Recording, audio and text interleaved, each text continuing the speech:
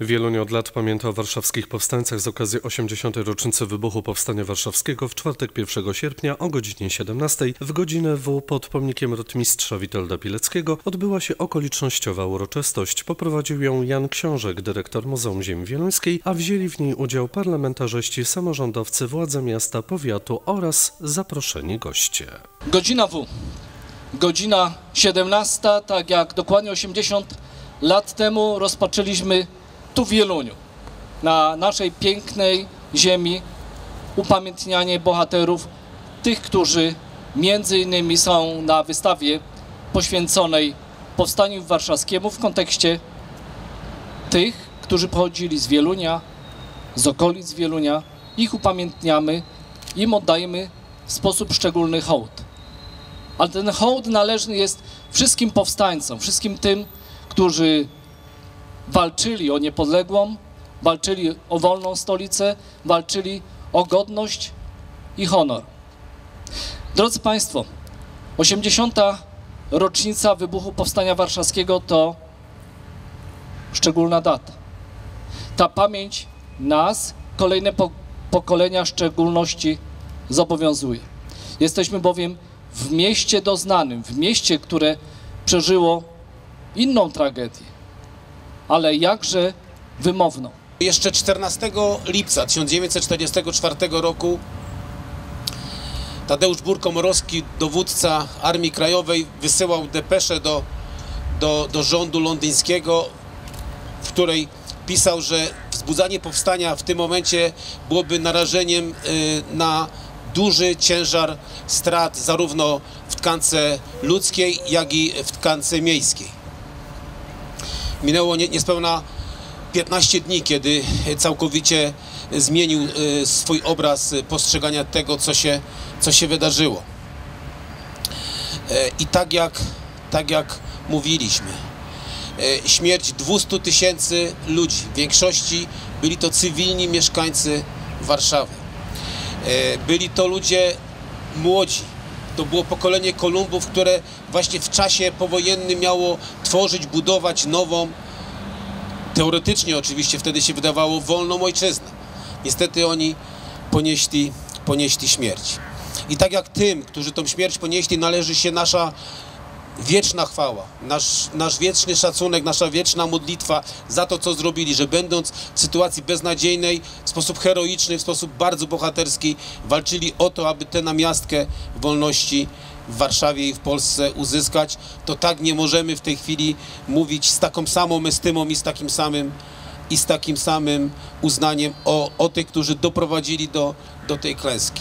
Powstanie warszawskie nie było jedynie wojskowym zrywem przeciw okupacji. Było przede wszystkim symbolem niezłomnej woli walki o wolność, pragnienia życia w wolnym kraju oraz bezgranicznej miłości do ojczyzny. Tysiące młodych kobiet i mężczyzn, nierzadko dzieci, sięgnęły po broń z nadzieją na lepsze jutro, mając w sercach wielką odwagę i determinację. W tym pamiętnym dniu oddajmy hołd wszystkim, którzy walczyli i ginęli na barykadach Warszawy. To dzięki ich niezłomności, poświęceniu, a często i przelanej krwi, dziś możemy żyć w suwerennej Polsce. Przypomnijmy sobie wielkość ich czynu, który mimo brutalnej rzeczywistości y, okupacji pozostawił trwały ślad w historii i sercach kolejnych pokoleń. Pamiętajmy również o obowiązku, jaki spoczywa na nas, aby przekazywać historię Powstania Warszawskiego przyszłym pokoleniom, by nigdy nie zatarła się w naszej świadomości. To ważne zadanie, dla którego musimy poświęcić siły i energię, ponieważ historia jest fundamentem, naszej tożsamości. W ten specjalny dzień, kiedy myślimy o tych wszystkich bohaterach, zachowajmy ich w naszych sercach i uczmy się od nich odwagi, solidarności, miłości do ojczyzny. Niech ich duch prowadzi nas do budowania lepszej i silniejszej Polski. Chwała i cześć bohaterom. W historii Polski było wiele zrywów, powstań, prób odzyskania lub utrzymania niepodległości, ale stwierdzić należy, że powstanie warszawskie było w tej kwestii aktem najwyższym, najbardziej, można powiedzieć, kosztownym. Była to największa tragedia w dziejach Rzeczpospolitej. Powstanie warszawskie, które skupiło mieszkańców Warszawy, tych, którzy już w przeciągu ostatnich od 1939 roku prawie pięciu lat oswojeni byli z karabinem i pistoletem, ale, również tych, którzy pierwszy raz chwycili za broń, bądź w inny sposób w tym powstaniu uczestniczyli. Dlatego, że było to przede wszystkim dążenie, które zapisane jest w sercu każdego Polaka. Dążeniem do wolności, wolności, która jest polskim, w polskim DNA. Powstanie warszawskie należy również zaznaczyć, że zbudowało respekt innych narodów wobec Polski. Respekt, który nie był oparty na strachu, ale szacunku i podziwie. Są różne oceny powstania warszawskiego, również krytyczne. Często sami powstańcy powstanie krytykowali wybuch tego powstania, ale przodowali w tym przede wszystkim komuniści, przede wszystkim Stalin. I dziś, podczas takiej frywolnej oceny powstania, należy bardzo słowa, które się w tej kwestii wypowiada, bardzo ważyć. Aby nie wpisywać się właśnie w tą narrację, którą kreował Stalin i komuniści, czyli ci, którzy narodu polskiego nienawidzili. Warszawa to był skrawek wymarzonej, wolnej Polski.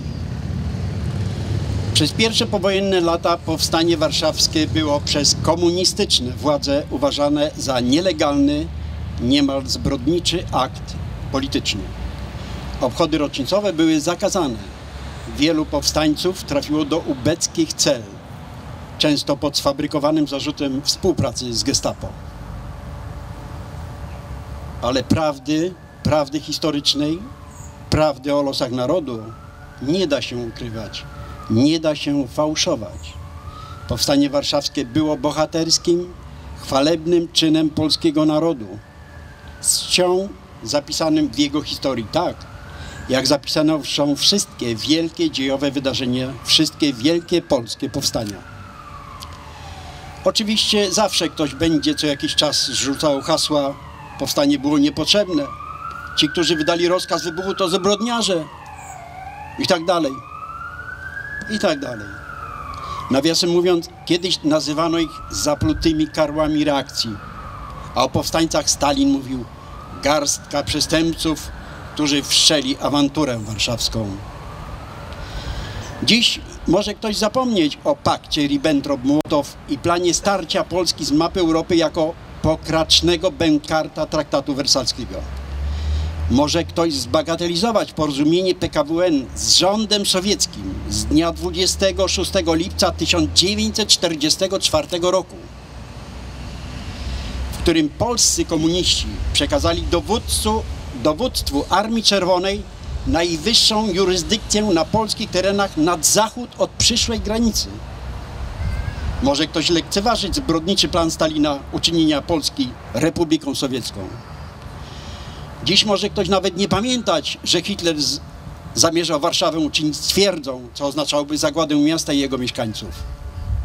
Może przemilczeć akcję Burza, pięcioletnią okupację i krwawą walkę polskiego podziemia. Może nie wiedzieć o oczywistym dążeniu każdego narodu do wolności. Ale nikomu nie wolno pominąć słów powracających we wspomnieniach, pamiętających te pełne nadziei warszawskie dni wybuchu. Trzeba było przeżyć pięć lat w Warszawie, aby czuć to, co czuła, co czuła ludność i żołnierze. Trzeba było żyć dzień po dniu. Idę walczyć, mamo kochana, nie płacz, nie trzeba już się tak jak ja. Serce mam w piersi rozkołatane, serce mi dziś tak cudnie gra. Dziś idę walczyć, mamo,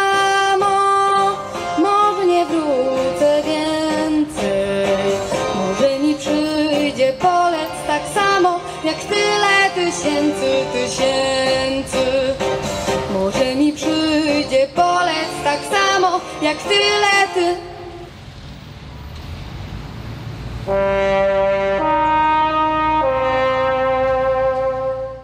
Okolicznościowych przemówieniach wileńscy harcerze odczytali apel poległych, a delegacje złożyły pod pomnikiem okolicznościowe wiązanki kwiatów i zapaliły znicze. Wartę honorową pełnili członkowie Stowarzyszenia Historycznego Bataliony Obrony Narodowej. Wszyscy, którzy brali udział w tym specjalnym okolicznościowym spotkaniu, mogli również zapoznać się z wystawą Wieleńskie Ślady Powstania 1944, dokumentującą udział mieszkańców ziemi wieluńskiej w walkach o wolność stolicy przygotowaną przez Wieluńskie Muzeum.